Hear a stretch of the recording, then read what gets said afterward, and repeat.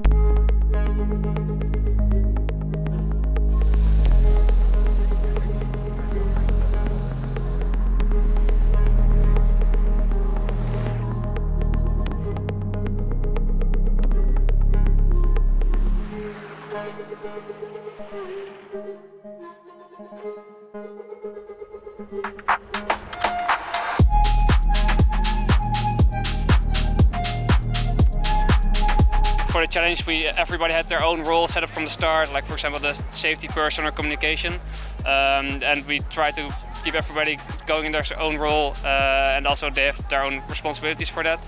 Uh, but also, if somebody makes a mistake, we talk to them, say like, yeah, this could have been gone better in that way, and people are really open to feedback. If someone fails to perform in the sector, we do not scold them, we uh, teach them because it's our responsibility as the uh, older learners to teach them how to react on certain situations. We are okay to give feedback on how somebody is doing, not on, on who they are as a person. Uh, so that also really helped us in having an open communication within the team, uh, which makes sure everybody also feels safe to make mistakes.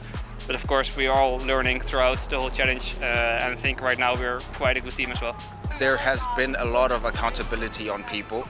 Everybody has a role to play in our team. Um, you may be a driver, but you'll still wash dishes, you'll still assist in logistics, you'll still assist others to set up their tents.